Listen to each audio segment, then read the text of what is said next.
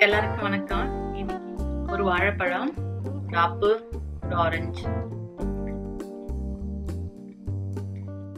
இந்த வீடியோவில் வந்து நான் உங்களுக்கு ஈஸியாக உடல் எடையை எப்படி குறைக்கிறது அப்புறம் பழங்களை வந்து நம்ம எப்போ சேர்க்கலாம் எப்போ சாப்பிட்லாம் அப்படின்றத பற்றி நான் சொல்ல போகிறேன் அதாவது நீங்கள் வந்து உடலுடைய வெயிட்டை குறைக்கணும்னு நினைக்கிறவங்க வந் நினைக்கிறவங்க வந்து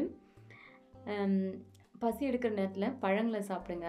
அதாவது ஒரு சாப்பாட்டுக்கு ஒரு இருபதுலேருந்து முப்பது நிமிஷம் முன்னாடி வர முன்னாடிக்கு நம்ம சாப்பா அந்த பழத்தை வந்து எடுத்துக்கலாம். சாப்பிட்ட பின்னாடி உடனே நம்ம வந்து பழத்தை சாப்பிடக்கூடாது. ஏன்னா பழம் ஜீரணமாகறதுக்கும் சாப்பாடு ஜீரணமாகறதுக்கும் ரெண்டும் வெவ்வேறு சமயம் நமக்கு தேவைப்படுது. அதனால் பழம் சீக்கிரமாக டைஜஸ்ட் ஆகிட்டு நம்ம சாப்பாடை வந்து வயிற்றுக்குள்ளே இருக்க சாப்பாடு வந்து செரிமானம் அந்த அந்த கெட்டு போக நிறைய சான்சஸ் இருக்குது அதனால் சாப்பிட்றதுக்கு இருபதுலேருந்து முப்பது நிமிஷம் முன்னாடி நீங்கள் வந்து பழத்தை சாப்பிடுங்க. எப்போ கண்டிப்பாக பழங்களை சாப்பிடக்கூடாது அப்படின்னு பார்த்தீங்கன்னா நைட்டு தூங்க போகிறதுக்கு முன்னாடி பழத்தை சாப்பிடக்கூடாது.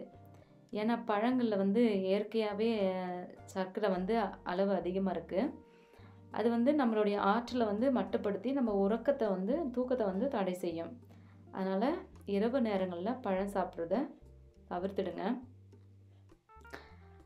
அப்புறம் வந்து இந்த பழம் வந்து என்ன பழம் நம்ம எப்போ சாப்பிட்லாம்? அதாவது நீங்கள் வாழைப்பழத்தில் வந்து அதிக கார்போஹைட்ரேட் இருக்குது அதனால் வந்து நீங்கள் ஒரு ஒர்க் அவுட் முடிச்சுட்டு வாழைப்பழம் இல்லை மா மாங்காய் பழம் அந்த மாதிரி வந்து நீங்கள் சாப்பிட்டு சாப்பிட்டுக்கலாம்.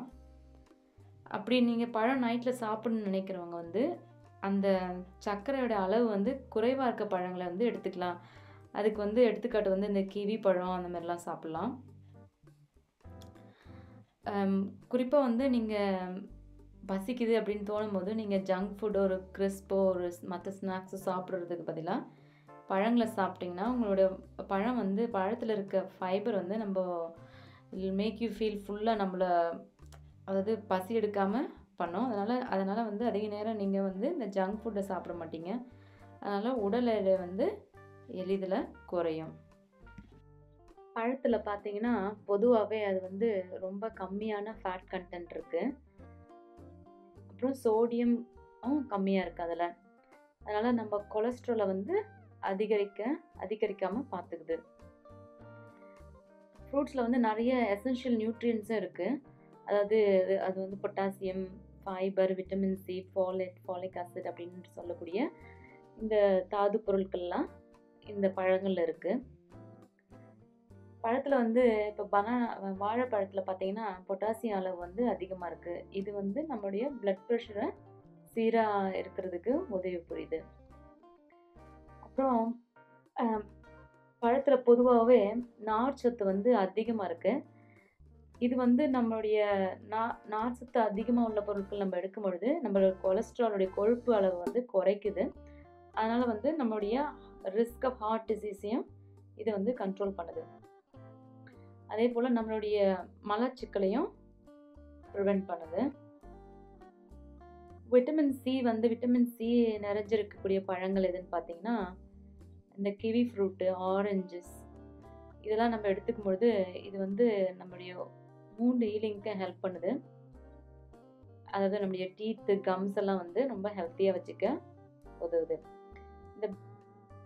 இந்த ஃபாலிக் ஆசிட் அப்படின்னு சொல்கிற ஒரு அமிலம் வந்து நம்முடைய ரத்தத்துடைய கா அளவு வந்து அதிகரிக்க உதவுது. இது எதில் இருக்குது பார்த்தீங்கன்னா நம்மளுடைய பேரிச்சம்பழம் அப்படிலாம் பேரிச்சம்பழத்தில் வந்து அதிக அளவு இது இருக்குது அதாவது ஒரு நாளைக்கு வந்து நம்ம அஞ்சு ஃப்ரூட்டும் அஞ்சு வகையான காய்கறிகளையும் நம்ம உணவில் சேர்த்துக்கொள்ளணும்.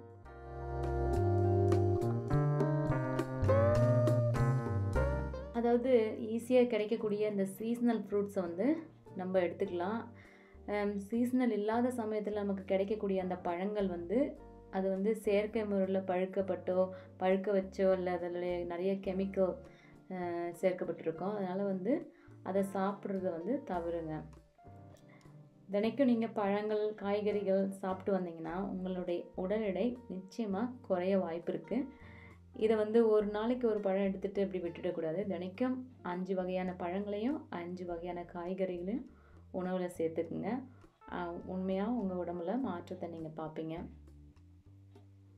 பழங்களை வந்து அரைச்சி சாப்பிட்றது வந்து நிறுத்துங்க. அதாவது ஒரு நம்ம என்ன செய்வோம்? ஒரு ஈஸியாக வேலைக்காக எல்லா பழத்தையும் ஒன்றா போட்டு நம்ம மிக்சிலேயோ இல்லை ஸ்மூதி மேக்கர்லேயோ நம்ம அரைச்சி அதை குடிக்கும் பொழுது என்ன ஆகுதுன்னா அதோட சுகர் கண்டென்ட் வந்து ரொம்ப அதிகமாகுது. அதனால் வந்து நம்ம வெயிட் குறையிற வாய்ப்பு கொஞ்சம் கம்மியாகுது. அப்போது நம்ம வந்து நேச்சுரலாக நம்ம கடித்து வாயில் சாப்பிடும்போது தான் நம்ம வந்து அரைச்சி சாப்பிட்றதுக்கும் கடிச்சு சாப்பிட்றதுக்கும் அந்த அளவு ஃப்ரூட்ஸ் நம்ம எடுத்துக்க மாட்டோம். அதனால் அதோட சுகர் கண்டென்ட் ஒரே வ- ஒரே நேரத்தில் நமக்கு போய் சேராது. அதனால் ஃப்ரூட் ஸ்மூதி அந்த மாதிரி பண்ணி சாப்பிட்றத விட நம்ம வாயில் கடித்து சாப்பிடும்பொழுது அந்த நம்ம வாயில் இருக்க அந்த உமிழ்நீரோட அது சேர்ந்து டைஜஸ்ட் ஆகி டைஜஷன் வந்து நம்ம வாயிலே தொடங்குது. அதனால் பழத்தை வந்து குடும்பமான வரையில் கடித்து சாப்பிடுங்க. அரைச்சி சாப்பிட்றத தவிருங்க.